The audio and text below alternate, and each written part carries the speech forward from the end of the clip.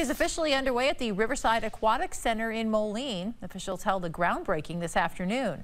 The almost $6.8 million project will include many updates and improvements, such as three new water slides, a lazy river, a splash pad, updated concessions, and a shared park shelter, among others. The Parks and Recreation Director says he hopes these new amenities can help give the community what they want and need. Unfortunately, 20 years ago, the um, the swimming pool that we put in, unfortunately, just doesn't meet the needs of the community, and I think um, by putting this in, it's going to meet the need and uh, continue to meet the need of what uh, this community needs, wants. The new facility is scheduled to open Memorial Day in 2024.